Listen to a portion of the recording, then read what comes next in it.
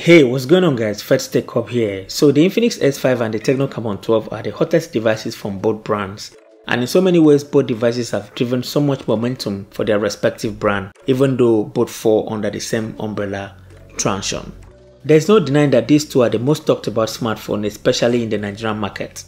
So in today's video, I'm going to compare the two side by side to see if there are any similarities between the two, because they look nearly identical. And to also see which is the best overall device so to help you make that purchase decision. Right now both devices stays as a flagship device to each brand even though they are budget devices. I would say this is the best you can get today from each brand. Before we jump into the comparison video, please kindly hit on that subscribe button to join this awesome family and turn on your post notifications so you get alerted when I upload a new video.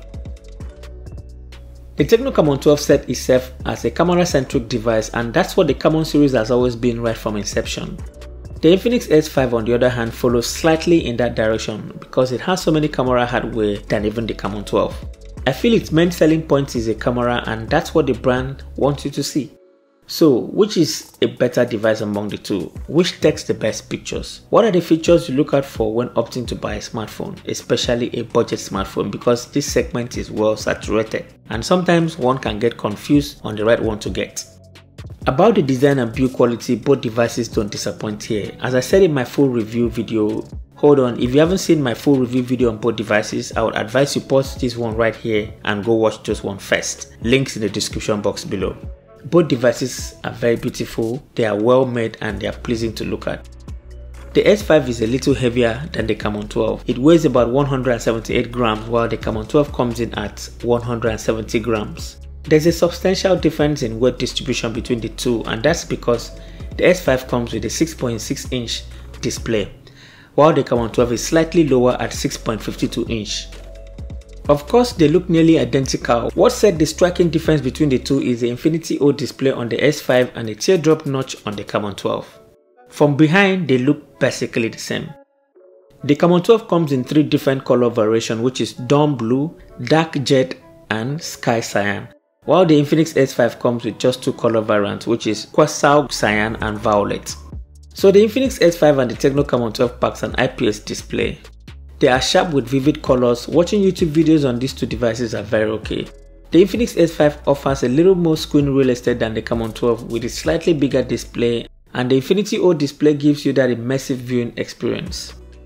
They are not the brightest if you use it in direct sunlight but they are among the best in the budget display segment.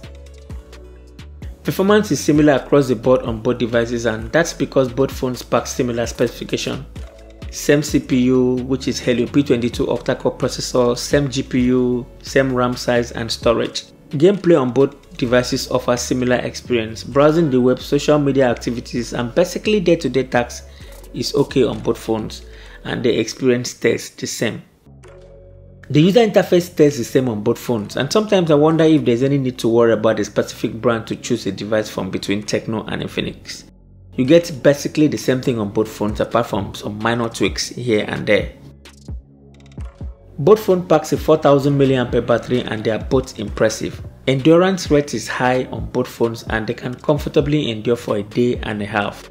The Infinix S5 and the Tecno Camon 12 comes with a modern authentication method which is face unlock and fingerprint scanner. They work effectively well and there is no complaint or whatsoever here. Now let's shift our attention to the area that matters the most to most people, which is the camera. This is where you begin to see some notable difference. On the rear, the Infinix S5 packs a 4 camera sensor, while the Camon 12 comes with just 3. The fourth option on the Infinix S5 doesn't mean so much. It is an unknown sensor for now, which I believe it's a QVGA camera for low light detection. So the Infinix S5 packs a 16 megapixels main sensor, a 5 megapixels ultra wide sensor, a 2 megapixels depth sensor and a QVGA low light sensor. The Camon 12 on the other hand packs something similar which is a 16 megapixels main sensor, an 8 megapixels ultra wide sensor and a 2 megapixels depth sensor. So since they pack similar sensor, does it mean pictures taken on them will look similar? Let's find out.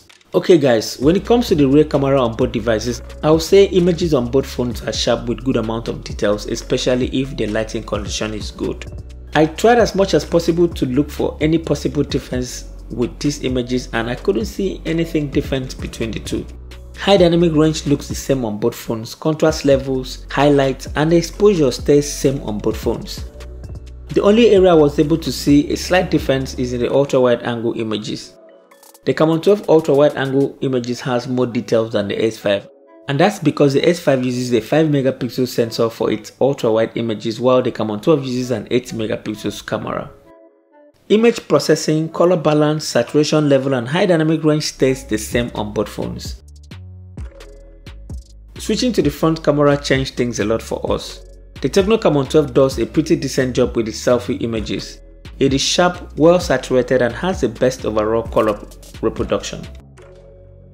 The Infinix S5 selfie images are decent as well, but the images look flat in comparison. Colors are not that vibrant, it is not as pleasing as the Camon 12. However, it produces more detailed images than the Camon 12 and that's possible because of the high megapixels count on the S5, which is a 32 megapixels, while the Camon 12 has a 16 megapixels. The S5 lacks a bit when it comes to good color reproduction. Portrait shots are pretty okay on both phones and I would say none is better than the other. The images have good edge detection and a satisfying portrait selfie on both devices, but they lack those punchy details on the portrait shots and too much of overexposure. Both phones record video in 1080p resolution at 30 frames per second with no video stabilization. So your footage will always stay shaky most times unless you get yourself a tripod or a gimbal. The video quality looks okay on both phones but the Infinix S5 video introduces some noise and grains in its footage, while the Camon 12 stays clean and sharp. When it comes to how each devices handle color, I would say they perform about the same. As you can see, they look very similar in almost every category apart from the slight camera edge the Camon 12 has over the S5. So now the question is, which of these devices will I recommend? Well, I can't really say one is better than the other, but if I want to lean towards one or if I want to pick one out of the two, it will definitely be the Camon 12. I like how light it feels, it has much better selfie and a little more affordable than the Infinix S5. But apart from that, every other thing stays the same on both phones. If you have any interest in purchasing any of these devices, you can use the link in the description box below. It will help support the channel in a way. Okay guys, share your thoughts to me in the comment section below. If you're given the opportunity to pick one out of the two, which will you pick and why? Like and share this video to help someone make a purchase decision and thank you so much for watching and I'll talk to you in the next one. Bye bye.